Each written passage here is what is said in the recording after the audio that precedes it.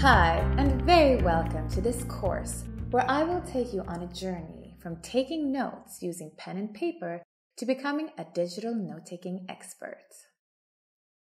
We'll have a look at different versions of OneNote the OneNote app for the iPad, the OneNote app for Windows devices, and the richest desktop version of OneNote, currently OneNote 2016. We'll also have a look at some different devices that are suitable for taking digital notes.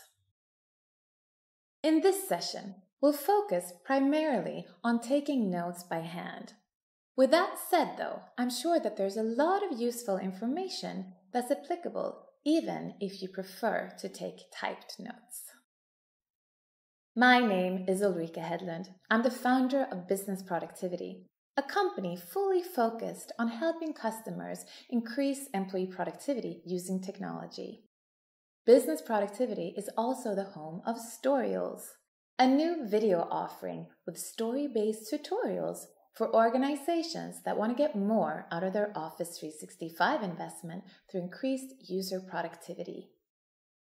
You will see one of our story-based tutorials on OneNote later in the course. With that, Let's get started.